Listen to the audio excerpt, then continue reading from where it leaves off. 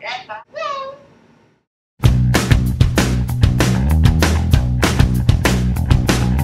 I went right for it and said, that would be perfect." I fell in love with um, Is it small? uh, Are they small? yeah, it's just a little one. A woman bigger than your feet and your dress. Look at it. It's thirty days to return it, and I'll take my money back if you don't like it. There was nice stuff at Walmart. Walmart. And I looked, I checked, did you run the pick up a wedding dress for Donald? Have you, have you already picked up? Funny. Richie said that she has. Nine. Nine. I know. Baby hands. It's the bigger the size, the more expensive they are. Nuh-uh. Uh-uh. And if the size is the bigger the size, then it is more expensive than the smaller size. Well, we're Okay. lucky his hands are skinny. Whatever, did you all finish, uh, jumping off you done or?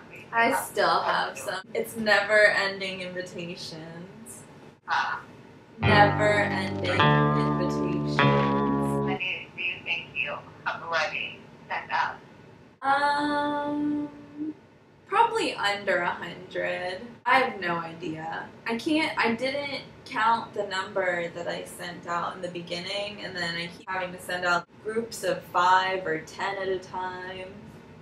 Yeah, but not the number of cards you send out, it's the number of people coming that counts. I know. So according to the RSVPs, like twenty people are coming. So we only have to feed twenty people. No one's RSVP'd yet. But uh, you haven't get received back half of whatever you put sent out.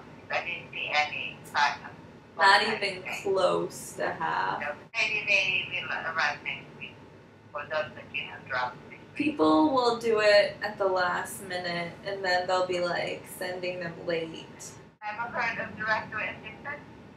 I'm not calling directory telephone number assist. In the US of A, whatever, I guess, I, I can hear you, are you speaker? Yeah, because I'm working on the computer. You sounding like I'm in a hole. Like you're in a hole?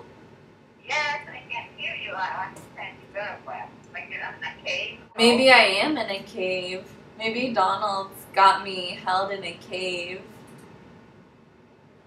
Not really, Mom.